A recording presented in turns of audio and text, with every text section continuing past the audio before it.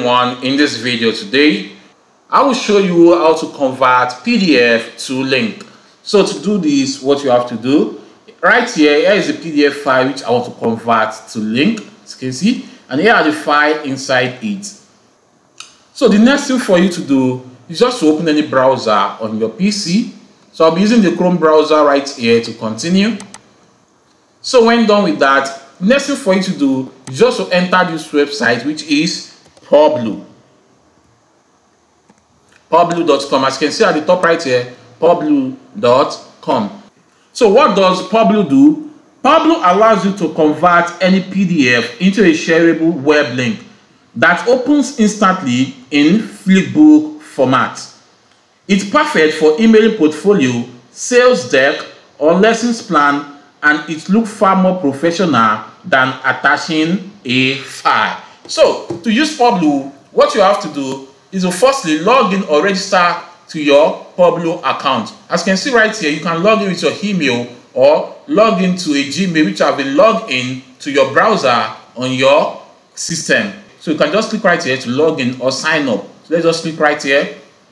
So when done, click on the email which you want to log into so when done with that, it will bring you to this dashboard right here. So the next thing for you to do is just to click on add PDF to continue. Then it will bring out this dialog box right here. And then go to the location where you have the PDF file and upload. So mine is on my desktop. So click on desktop to continue. So when done, you can then select the PDF file right there. Okay. Let's click on it. Then click on open to continue.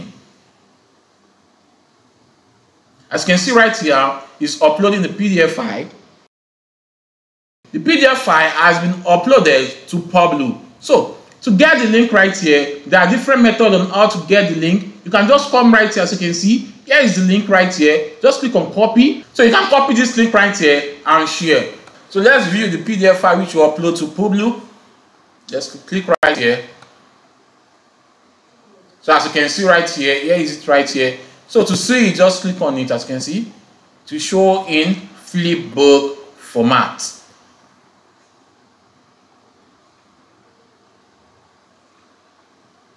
Another method for you to copy the link is just by clicking on the share icon at the top right here. Then you can then click on copy link right here. As you can see, you can share to Facebook, LinkedIn, Twitter, and email. Also, you can also share using this QR code right here.